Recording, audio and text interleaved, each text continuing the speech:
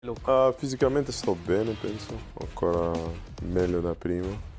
Questo è una cosa che dopo due anni in Italia dove abbiamo lavorato tantissimo con uh, la squadra all'Inter, con i preparatori, anche il nutrizionista, è una cosa che rimane per, con me per sempre.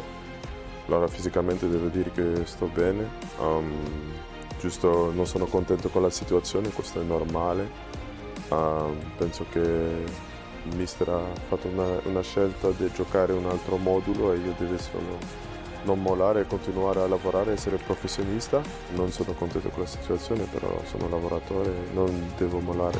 Tutto come è successo non doveva succedere così.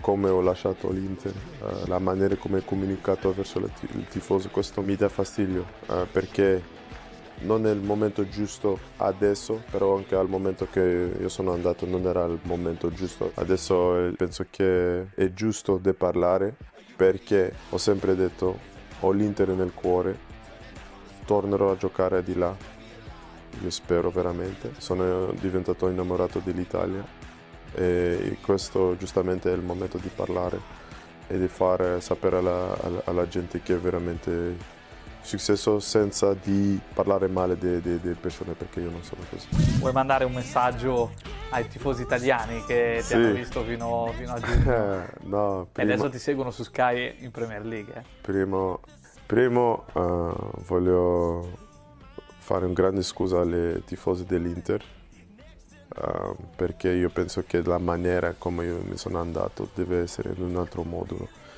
io dovevo parlare prima con voi perché le cose che voi avete fatto per me, ma anche per mia famiglia, mia madre, mio figlio, sono le cose che è in mano per me, per la vita. Io spero veramente dal fondo del mio cuore di tornare all'Inter, non alla fine, fine della mia carriera, però a un livello ancora buono per sperare di vincere di più.